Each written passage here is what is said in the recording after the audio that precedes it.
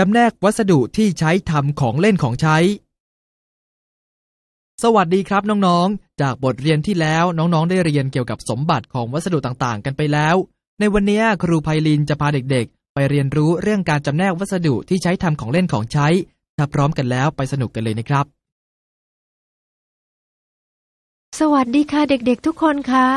เดี๋ยวในบทเรียนนี้ ครูจะพาเด็กๆ ไปเดินป่ากันนะคะ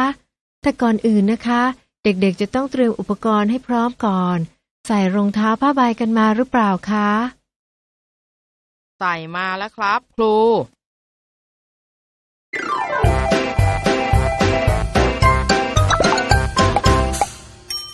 ร่วมด้วยช่วยคิด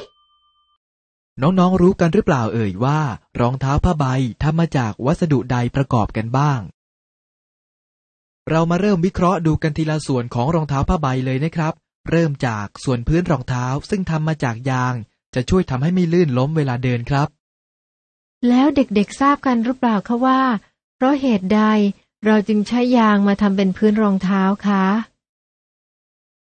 พัดรู้ครับครูยางมีสมบัติในการกันน้ำพอนำมาทำเป็นพื้นรองเท้าแล้ว น่าจะช่วยกันน้ำนอกจากนี้ยางจะมีความเหนียวและยืดหยุ่นได้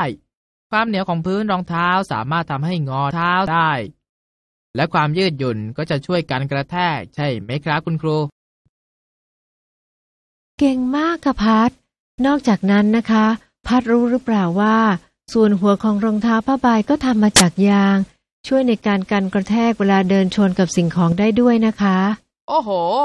สมบัติของยางเนี่ย มีประโยชน์หลากหลายเลยนะครับ ต่อไปน้องๆลองมาดูส่วนอื่นของตัวรองเท้าผ้าใบของพัดกันเลยนะครับ ว่าทำมาจากวัสดุใด ส่วนของตัวรองเท้าผ้าใบ และเชือกรองเท้าทำมาจากผ้าหรือเปล่าครับครู เก่งมากค่ะพัด และพัดรู้หรือเปล่าคะว่าทำไมถึงใช้ผ้ามาเป็นวัสดุทำตัวรองเท้าคะพัดจำได้จากบทเรียนที่แล้วครับ ผ้ามีน้ำหนักที่เบา เมื่อนำมาทำเป็นรองเท้าผ้าใบ จึงใส่สบาย และไม่ร้อนครับ นอกจากนี้ ผ้ายังเป็นวัสดุที่มีความเหนียวและนุ่ม เราจึงสามารถนำมาถักเป็นเชือกผูกรองเท้าได้ครับ ช่างคิดช่างสังเกตมากค่ะพัดใส่รองเท้าผ้าใบเสร็จแล้ว เดี๋ยวเราไปขี่จักรยานเที่ยวป่ากันเลยนะคะ เดี๋ยวก่อนครับ คุณครู พัดสงสัยว่า รถจักรยานเนี่ย มันทำมาจากวัสดุอะไรบ้างครับ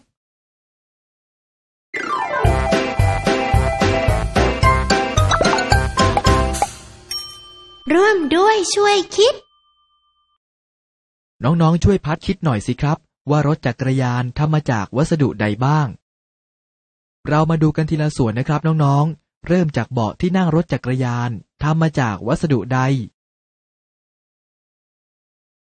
เบาะที่นั่งรถจักรยานเนี่ยทำมาจากพลาสติกใช่ไหมครับ คุณครู แล้วพัดรู้หรือเปล่าคะว่าทำไมเรานำพลาสติก มาทำเป็นเบาะรถจักรยานคะพัดจำสมบัติของพลาสติกไม่ได้แล้วล่ะครับ คุณครู เพราะว่าพลาสติกมีน้ำหนักเบานะคะ นอกจากนั้นพลาสติกยังมีสมบัติกันน้ำได้ ไม่นำความร้อน ช่วยให้เวลาที่เรานั่งเบาะรถจักรยานแล้วไม่รู้สึกร้อนค่ะ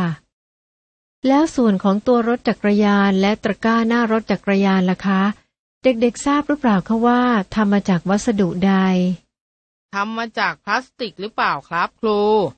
ไม่ใช่ค่ะพัดตัวรถจักรยานและตะกร้าหน้ารถจักรยานนั้นทำมาจากโลหะค่ะ แล้วทำไมไม่ใช้พลาสติกทำตัวรถจักรยาน และตะกร้าหน้ารถจักรยานล่ะครับ เพราะว่าโลหะเป็นวัสดุที่แข็งแรง ทนทานกว่าพลาสติกค่ะ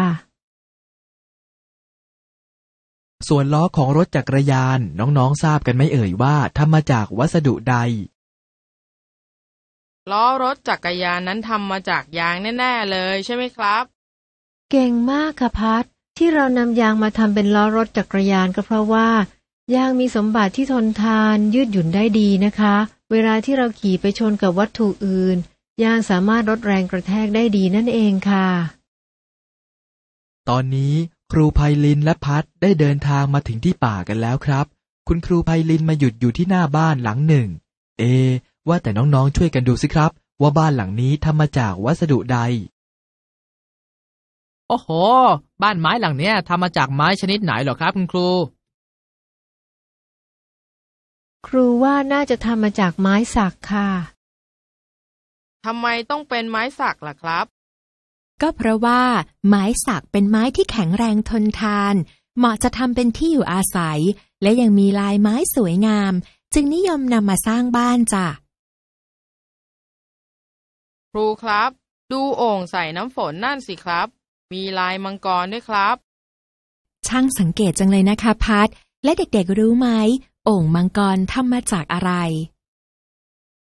โอ่งมังกรนั่นทำมาจากแก้วหรือเปล่าครับ คุณครู ไม่ใช่ค่ะพัดในพัดจำได้หรือเปล่าคะว่า แก้วมีสมบัติอย่างไร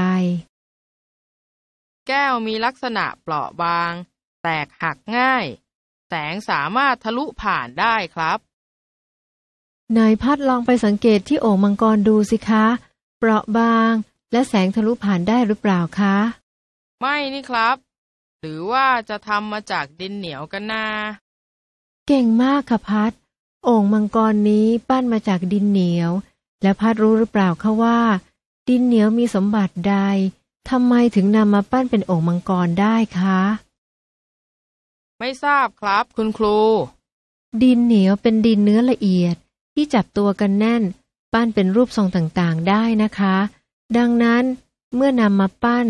ทำให้ขึ้นเป็นภาชนะรูปทรงต่างๆ อย่างเช่น โอ่งก็จะทำให้น้ำในโอ่งเย็นชื่นใจค่ะ ชาวบ้านสมัยก่อนเนี่ย เขาเก่งจริงนะครับ ขนาดไม่มีตู้เย็นก็มีน้ำเย็นดื่มชื่นใจได้ เป็นเพราะว่าชาวบ้านสมัยก่อนรู้จักสังเกต พัดก็ต้องรู้จักสังเกตและเรียนรู้สมบัติของวัสดุต่างๆนะคะ เดี๋ยวเราลองเดินเข้าไปสำรวจวัสดุที่นำมาใช้ทำของเล่นของใช้ในบ้านไม้กันนะคะ ครูครับ ดูดินสอนี่สิครับ มันทำมาจากวัสดุชนิดใดกันล่ะครับ ด้านนอกของดินสอดำที่พัดจับอยู่นี้ ใช้ไม้หุ้มไส้ดินสอไว้นะคะ ส่วนไส้ดินสอที่ใช้เขียนนั้นทำมาจากคาร์บอนที่มีชื่อว่าแกรไฟต์ค่ะ แล้วทำไมถึงต้องใช้ไม้มาหุ้มดินสอไว้ด้วยล่ะครับ ก็เพราะว่าคาร์บอนนั้น เวลาใช้เขียนมักจะแตกหักง่าย จึงต้องนำไม้ที่เป็นวัสดุแข็งแรงทนทาน มาห่อหุ้มไว้จ้า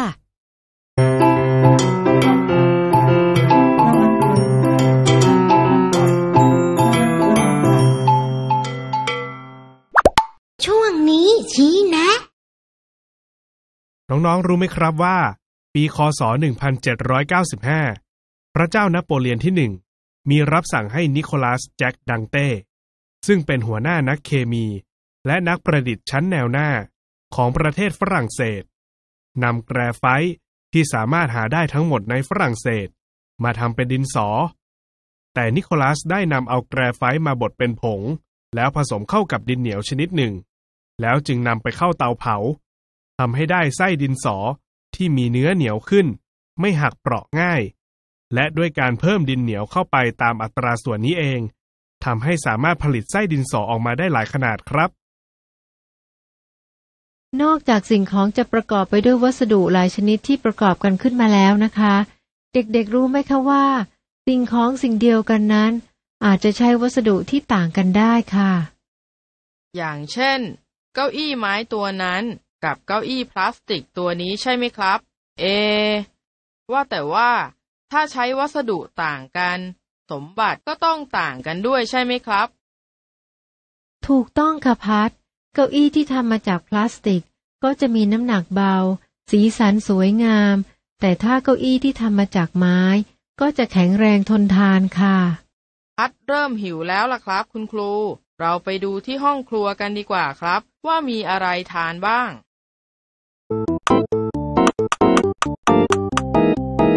นักวิทยาศาสตร์รุ่นจิว๋ว น้องๆครับ มาช่วยกันสังเกตสิ่งของที่อยู่ในครัวของบ้านไม้กันดีกว่าครับ ให้น้องๆ คลิกที่ภาพสิ่งของเครื่องใช้ ให้ตรงกับวัสดุที่โจทย์กำหนดให้กันเลยครับ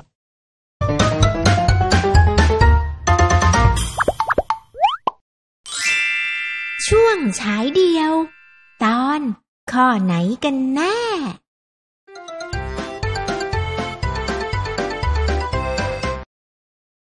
เหตุผลที่นำยางมาใช้ทำล้อรถยนต์ เพราะยางมีสมบัติในการยืดหยุ่น สามารถลดแรงกระแทกที่อาจจะเกิดขึ้นได้ดีครับ โอ่งมังกรเป็นของใช้ที่ทำมาจากวัสดุเพียงชนิดเดียวคือ ดินเหนียวครับ โดยการปั้นแล้วเอาไปตากแดด และผ่านการให้ความร้อนครับ ผ้าเป็นวัสดุที่น้ำสามารถซึมผ่านได้ และยังดูดซับน้ำได้ดี ในขณะที่วัสดุบางชนิด เช่น ยางและพลาสติก น้ำจะไม่สามารถซึมผ่านได้เลยครับ สมบัติของวัสดุแต่ละชนิดจะแตกต่างกันไปนะครับ เช่น กระดาษจะฉีกขาดและจะเปื่อยยุ่ยได้ง่ายเมื่อโดนน้ำ ในขณะที่พลาสติกจะเหนียว ไม่ฉีกขาด และน้ำจะไม่สามารถซึมผ่านได้ครับ สมบัติของจานกระดาษที่แตกต่างจากจานกระเบื้องคือ จานกระดาษจะมีน้ำหนักเบาไม่ทนความร้อน ส่วนจานกระเบื้องจะมีน้ำหนักมากกว่า แต่จะเปราะและแตกหักง่าย ทนความร้อนได้สูงครับ มาถึงตอนนี้น้องๆก็สามารถวิเคราะห์ได้แล้วนะว่า วัสดุแต่ละชนิดมีสมบัติอะไรบ้าง และในแต่ละส่วนของของเล่นของใช้นั้น ประกอบไปด้วยอะไรกันบ้าง แล้ววันนี้เวลาก็หมดลงแล้วนะครับ ก่อนจากกันน้องๆอย่าลืมหมั่นทบทวนบทเรียนกันนะครับสำหรับวันนี้ สวัสดีครับ